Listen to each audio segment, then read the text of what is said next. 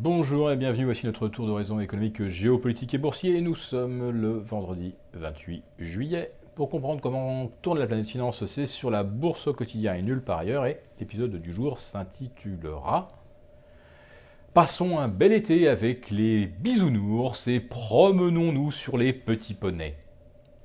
Oui, parce que euh, ce vendredi est marqué par une correction de moins 1,4 à moins 1,5% du CAC 40. Rendez-vous compte, quel écart à la baisse Il y a longtemps qu'on n'a pas vu ça.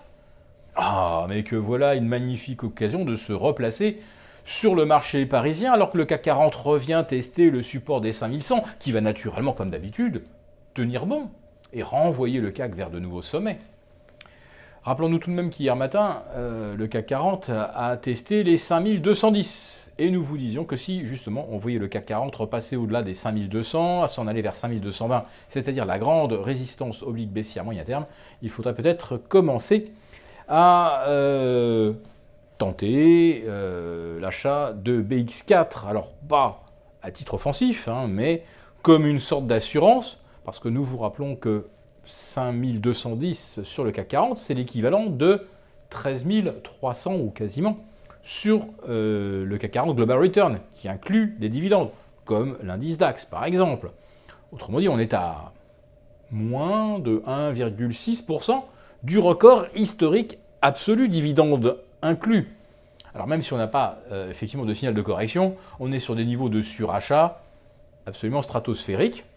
Mais vous me direz que depuis le début de l'année, euh, ça n'a pas empêché les indices d'enchaîner euh, les, records. Et euh, par exemple, hier soir sur le Nasdaq, on est sorti d'une série de 14 hausses sur 15. Et encore, euh, la correction est intervenue hier après l'inscription d'un nouveau record historique absolu au-delà de 6460. Alors on est retombé en séance sur 6320 avant de limiter la casse à 6380 au final. Enfin, qui se demande pourquoi le Nasdaq a perdu plus de 2% comme ça euh, à la mi-séance. Eh bien, on préfère pas se poser les questions parce que euh, les réponses risquent d'être euh, peut-être inquiétantes. Alors, ben, les bisounours vous disent oui, ce genre de petit accro peut arriver dans un marché qui est un petit peu cher, mais certainement pas surévalué. Hein, on ne va pas aller se risquer à penser que les marchés sont trop chers. Donc, Profitons de ces petits trous d'air estivaux pour se replacer et repartons pour une magnifique balade boursière à dos de petits poneys avec sa, avec sa crinière rose et tout se passera bien. Car les banques centrales sont là, les banques centrales veillent, les banques centrales feront tout pour ne pas incommoder les marchés cet été, les banques centrales qui se montreront prudentes dans leur normalisation de la politique monétaire. Alors évidemment, de normalisation, on n'a que ce que les marchés autorisent. Le marché ne veut pas d'une troisième hausse de taux cette année euh, par la Fed. Très bien, on oublie, elle n'aura pas lieu. Euh, la contraction du bilan de la BCE, on ne veut pas en entendre parler avant fin 2017. Ok, ok, on n'en dira, rien. Ou peut-être un mot cet automne, ou peut-être pas du tout si les marchés ne sont pas d'humeur. Les banques centrales sont les otages des marchés qui eux-mêmes sont accros à la morphine des banques centrales. Vous voyez un petit peu cette espèce de, euh, système en vase clos où il ne peut finalement rien se passer qui correspondent à une véritable politique monétaire digne de ce nom et surtout les banques centrales ne peuvent pas se, contenter d'un rôle d'arbitre il faut bien, face à des marchés complètement apathiques, qu'elles sifflent tantôt un coup franc, tantôt un penalty, pour qu'il se passe quelque chose. Mais ce quelque chose n'intéresse plus personne, les gradins sont vides sur les marchés. C'est le désert, ne reste plus que quelques hedge funds, que de la gestion euh, indicielle.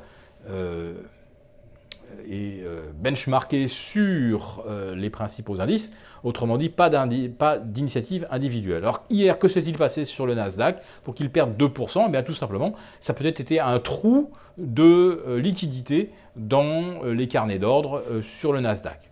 Nous n'en savons pas plus, mais en tout cas, ça devrait nous mettre la puce à l'oreille. D'autant que le VIX, qui avait enchaîné 10 clôtures sous le seuil psychologique et technique des 10, et 5 séances sous 9,50 et repasser au-dessus des 10. Donc, Nous maintenons, bien notre conseil de conserver euh, nos ETF euh, e sur le Nasdaq, les fameux QID. Alors on nous reproche beaucoup de les avoir achetés quand le Nasdaq était à 6002 et d'avoir laissé le Nasdaq filer vers 6004. Voyez à quelle vitesse on peut revenir sur 6003 ou 6002, ça peut prendre moins de 24 heures. En ce qui concerne le S&P, nous ne changeons rien, nous gardons nos triple Q. Et euh, sur le CAC 40, ceux qui ont acheté du BX4 à 5210 les conserveront et renforceront la position en cas de rupture des 5080. Mais est-ce que le marché ira à 5080 Selon les bisounours et euh, ceux euh, qui euh, nous organisent des balades en petit poney, eh bien non, cet été, ne craignez rien, il ne se passera rien. Eh bien, on ne risquera surtout rien si on conserve bien nos couvertures sur le Nasdaq, sur le S&P et sur le CAC. Bon été